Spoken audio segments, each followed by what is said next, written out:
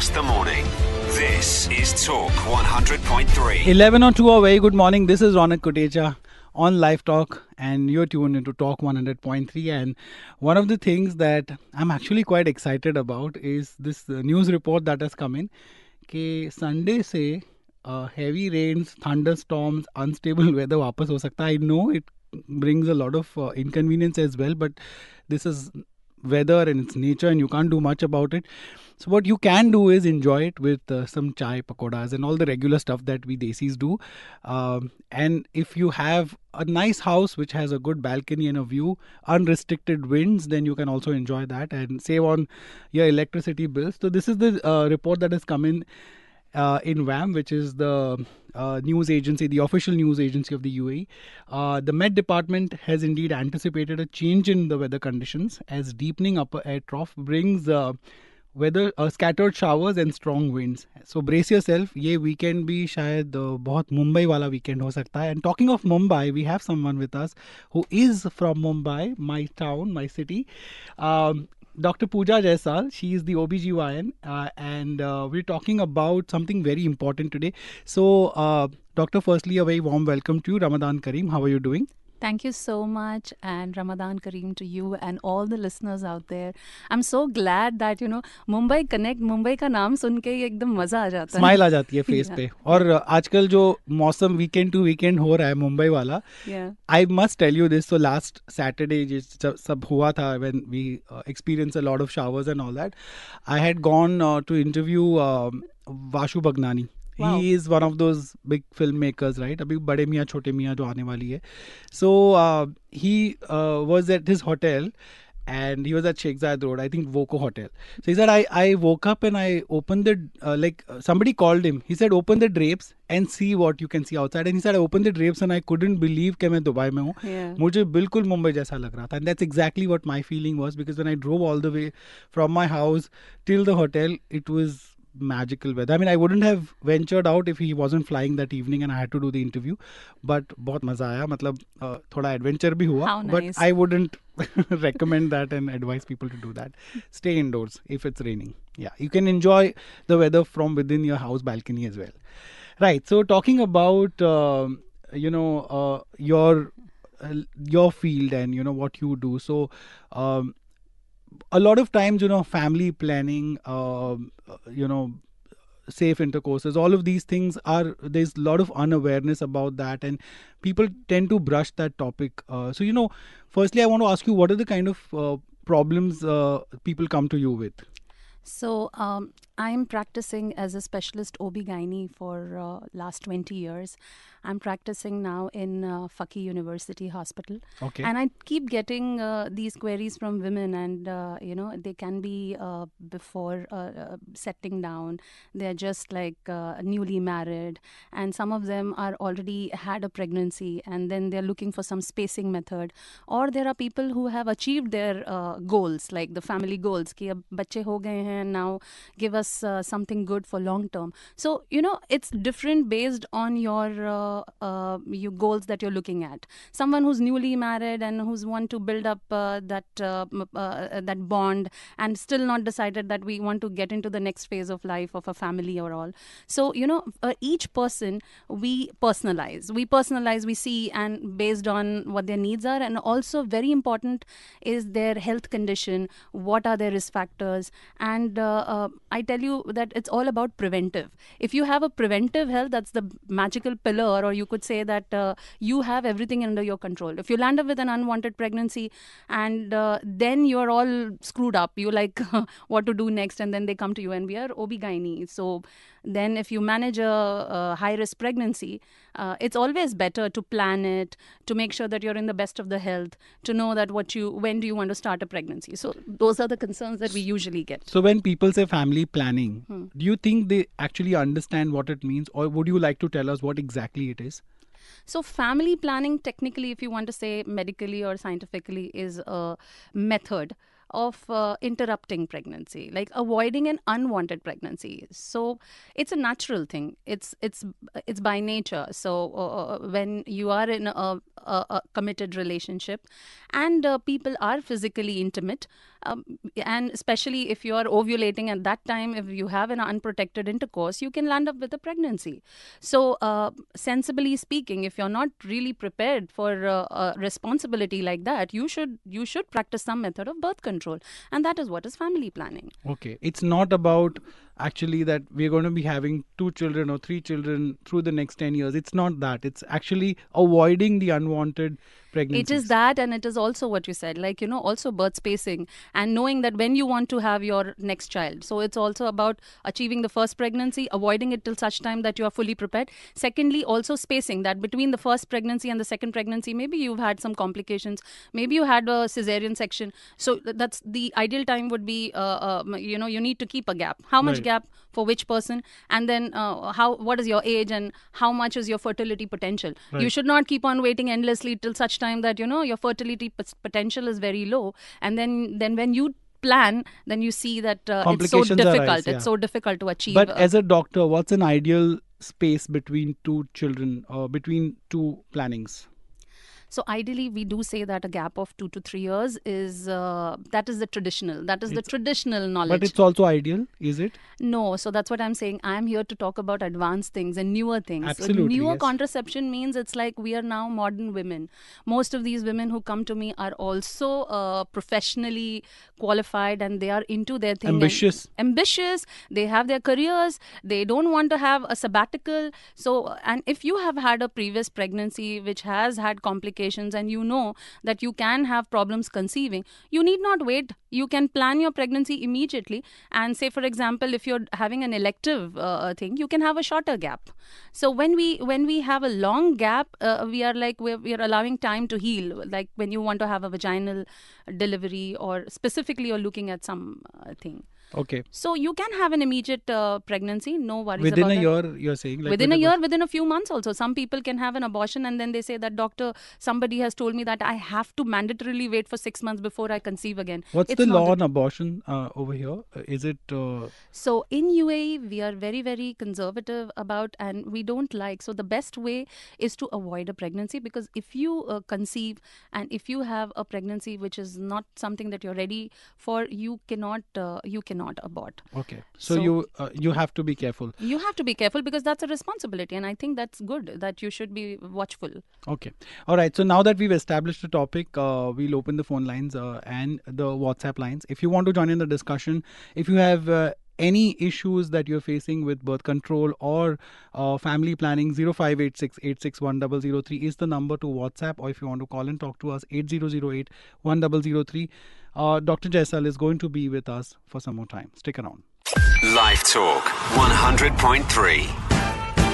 1114 a very good morning this is Ronak Kotecha on live talk and with me is uh, Pooja Jaisal she is an OBGYN with Fakeeh uh, University Hospital and uh, we're talking about uh, family planning now one of the things one of the trends that we've seen rather is that couples either delaying pregnancies or not have opting to not have a child at all do you see or not have opting to not have a child at all do you see this as a trend even here and uh, what are your thoughts on that Uh, yeah, so you have really pointed out these are some of the trends that are happening in the new millennium. So we are getting millennial couples, both are ambitious and they have their career goals. And most of them, some of them, I, I I have encountered and I have experienced, they come to me and they say, Doctor, we have consciously decided either to not have a, a baby for so long till we achieve this, or some of them even have decided that, you know, this is our decision that we don't want to have a child.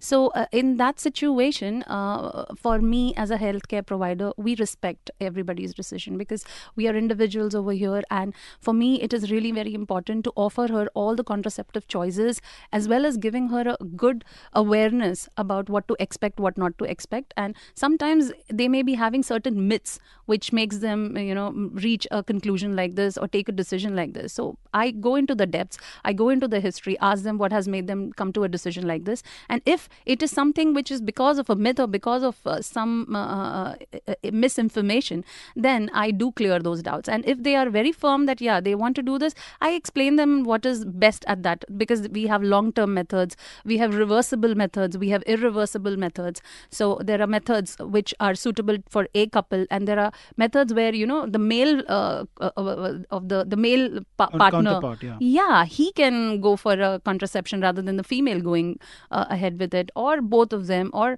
you know they want it momentarily, or they want it, you know, at this point of time they are in a frame of mind where they have taken the decision. I tell them, you know, take this, which is a temporary method, and then you can come back for a permanent one. So we do have all these options available. Okay, but uh, do you see there's a lot of misinformation and uh, there's there a lot of myths around uh, family planning, pregnancy as such, which is uh, also makes your job that much more crucial and maybe even harder. Of course, of course. Uh, contraception is uh, full of all these myths, especially the, the women are very conscious about their weight. And they come to me and they say, Doctor, I don't want this method because I've heard that, you know, you put on a lot of weight. So uh, we have so many different methods of contraception. The traditional one is basically you have two female hormones, the estrogen and the progesterone. And those are the combined pills. So the newer methods are now focusing on reducing the ones which cause more risk factors. The estrogen component is coming down, the progesterone is getting better, newer, the synthetic ones. So all these, uh, uh, they were the side effects were there. They are the thing of the past. Now, if at all you gain weight, there are a lot of methods which uh, you will not uh, gain any weight, which is a prime concern among a lot of women. The risk factors, the ones which are that are really concerning, is forming blood clots, like having uh, clots in your brain or in the legs and all. Some people who have liver diseases, some people who have uh, you know medical conditions like blood pressure, diabetes. So somebody who has cancer in the family. So we need to elicit these risk factors within their family and give them the choice. So we have very good ones. There are pills which are uh, which can be taken every day, and there are things which you don't need to take every day. Uh, There are newer ones like you can just go for an implant, and that implant is uh, maybe the size of a mac- matchstick. Okay, it's like a single rod, and you can put it very discreetly under the skin. There's no chance of falling. So um I wanted to before I go for what are the newer methods is like people want to know what is an ideal contraceptive. Ideal contraceptive is one where you don't have to take it repeatedly, where it has least amount of side effects. Cost is important. It is reversible. It is uh, uh, not dependent on the user. So you know we we see all those things and we have a lot of newer contraceptives in the form of vaginal rings, uh, implants, which I told you can put it under the skin and it'll not be visible. There are patches because there are women who forget taking pills, so you can put a patch on your back or on the belly or uh, on the trunk, and then once a week you just remove the patch and repeat the patch again. Three weeks you take, and one week uh, you you you put it off, and that is the time when you'll get your periods. Similarly, there are devices, so these are more long-acting ones. But they don't have any side effects. So uh, there are side effects, but the side effects are you have to see the risk and the benefit. As always, yeah. Yeah. So if the benefits are far exceeding the side effects, I think it is a little amount of side effect like a dizziness or a nausea or something, and that also the side effects they go on reducing with usage. So in the beginning, maybe you may get, and that depends upon what method you're using. Right. So it's not But- something not manageable. Is any of this covered under insurance? Oh, that's a very brilliant question because this is what is one of the factors which is uh, comes in the way of uh, usage or propagation or when we say they say doctor please write me something which covers which is covered under insurance unfortunately it's not including even um, uh, family planning sterilizations so you can't uh, get it covered None under, of these are covered. none of these are covered and it is not even approved and uh, we we can we can um, she has to take it uh, purchase it Purchase it on their own. yeah All right. Also, uh, one thing that we've seen often is uh, w- women, you know, uh, being scared about the fact that after a point they will not be able to conceive, and uh, you know they might miss the bus altogether. So, how late is too late? how late is too late is a very difficult and an, you know intriguing Individual question. It's an individual question, but yeah, after the age of forty, to give you a rough idea, so uh, after the age of thirty-five, the egg quality, the quality of the egg starts. Uh, we have a women have a biological clock, so if you have a goal, it is always better to not delay this uh, uh, family uh, this thing on time. You know, just just at least have one baby, because after thirty-five, what happens is the um, ovaries they have a reserve, they have a set number of eggs, and with each cycle you're losing one egg. So Even you- if you are eating right, exercising, all of that. Yeah eating right exercising and all can you know your body may be the age may be 35 but your body you may maintain it in your 20s so that's exercise and diet and proper sleep and all does help you keep it healthy. But then we have a solution. Medically we can have the possibility of freezing your eggs. So if you have for some reason not ready for pregnancy now what you can do is you can take your healthy eggs. We retrieve the eggs. We freeze it for future embryo and embryo transfer whenever you think that Yeah, you have those right are very expensive methods, right? those are expensive but they are not uh, impossible and i do get a lot of patients who do this it's a real thing it's not something that we just read Okay. And finally, one of the questions that also comes in, um, you know, is when a child comes in, there are a lot of expenses involved. So, as an OBGYN, uh, do you think that is also a myth, or is it really very expensive to once you have a child, then, you know, how It's a- life it's- changes it's a real thing financially? For for majority i would say for a majority who would lie in this bracket where uh, they need to plan their expenses around how many children because of course it's a real thing. Getting into schools giving them good education Well, also it starts right from the pregnancy. it starts from pregnancy it goes on and then every year you have to renew their uh, insurance medical insurance. So everything and kids you never know. They play they hurt themselves they can have so all sorts of things. So yeah this can be a big big uh, Deciding reason. factor. Yeah why people do not want to go for more uh, kids these days but um, but uh, yeah planning planning ahead planning uh, goes a long way Okay. And finally, if I were to ask you about the ideal health condition uh, of a father and mother during pregnancy, what would it be? So, um, ideal health condition would be something that you first is your BMI, that is your uh, that is your body mass index, which depends a lot on your uh, weight. So, a weight should be a body mass index of around less than 24.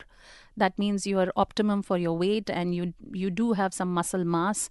You eat healthy, and uh, you have to check your uh, um, routine um, uh, uh, parameters like your hemoglobin. For women they should not be anemic. There not be iron deficiency. We see a lot of women in here in UAE they are deficient in vitamin D. You have to get your sugars under control. Hormonal factors a lot of them have thyroid deficiencies. So these are very easily picked up. If you just go for a annual checkup you will know that these are some of the basic things because they will impact. And a very important factor is addictions. Smoking is a big no both for the uh, father as well as for the mother While they're pregnant. even when they are pregnant of course, even before even when they're not, but it it, it kind of adds more problems uh, when to you're the trying baby to get to the baby and also. also to the quality of the embryo and the quality of the uh, pregnancy that you're having All right. Okay. Great. Thank you so much, uh, Doctor, uh, for sharing those insights with us. And uh, yeah, we hope you have a great. Uh, it was ahead. wonderful ronak it was very nice to be here and thank you for inviting me You're most welcome, Doctor.